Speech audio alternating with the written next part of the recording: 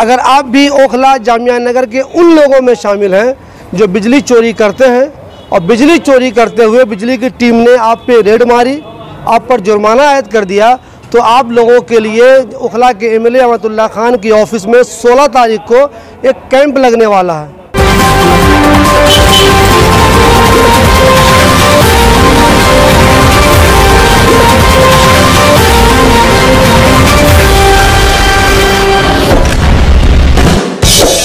दोस्तों, हम सब जानते हैं कि बिजली के प्राइवेट हो जाने के बाद नई नई तकनीक हो जाने के बाद भी पूरे हिंदुस्तान में बिजली की चोरी होती है। देश की राजधानी दिल्ली में भी बिजली की चोरी होती है। और उसी तरह ओखला जामिया नगर में भी बिजली की चोरी होती है। अगर आप भी ओखला जामिया नगर के उन लोगों में शामिल हैं, जो बिजली चोरी करते हैं, और बिजली चोरी करते हुए बिजली की टीम ने आप पे रेड मारी, आप पर जुर्माना आयद कर दिया तो आप लोगों के लिए उखला के एम एल अहमदुल्ला खान की ऑफ़िस में 16 तारीख को एक कैंप लगने वाला है। आप उस कैंप में आइए, आपके जो मसले हैं वो बिजली डिपार्टमेंट के साथ बैठ के हल कीजिए, कुछ सेटलमेंट कीजिए, अब वो पैसा जमा कीजिए, फिर आपकी परेशानी दूर हो जाएगी। हम सब जानते हैं कि ओखला में पूरे हिंदुस्तान की तरह, पूरी दिल्ली की तरह बिजली की चोरी ज़रूर होती है। चोरी कई तरीके से होती है। कुछ लोग इंडिविजुअल अपने घरों में बिजली की चोरी करते हैं। कुछ वो लोग हैं जिन्हें एसी चलाने का तो शौक़ है, मगर बिजली का बिल देने की उनकी औकात नहीं है।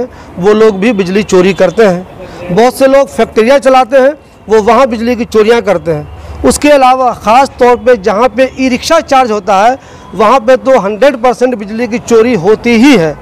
कुल मिलाकर ओखला में भी बहुत सारे लोग आज भी बिजली की चोरी करते हैं। अगर आप में से कुछ लोग ऐसे हैं जिन्होंने बिजली की चोरी की है और बिजली डिपार्टमेंट के लोगों ने आपके यहाँ रेड मारी, आप पकड़े गए और आप पर जुर्माना लगा दिया और बिजली आपकी काट दी तो ऐसे के लोगों के लिए ओखला के एमएलए अहमदुल्ला खान की जो शाहीन बाग में अल्लामा शिबली रोड पे ऑफ़िस है, उसमें 16 तारीख को एक कैंप लग रहा है।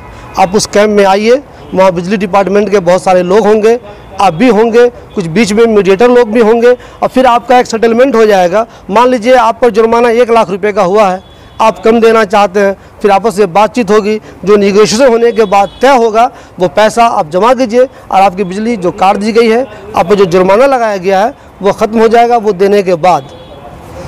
तो आप इस बिल को अदा करने के बाद, इस जुर्माना को अदा करने के बाद, ये आपकी मर्ज़ी है कि आप आगे बिजली चोरी करते हैं या नहीं करते हैं, हमेशा की तरह आगे भी बिजली चोरी करते रहते हैं और ऐसे ही कैंप लगता है, उसमें आकर अपना बिल माफ़ कराते रहते हैं या कम करवाते रहते हैं, ये तो अलग बात है। फ़िलहाल अगर आप पे बिजली चोरी का केस है, बिजली चोरी का जुर्माना हुआ है तो आप यहाँ आइए, इस ऑफ़िस में और इस मसले को हल कीजिए। 16 तारीख को 11 बजे से लेकर 5 बजे शाम तक।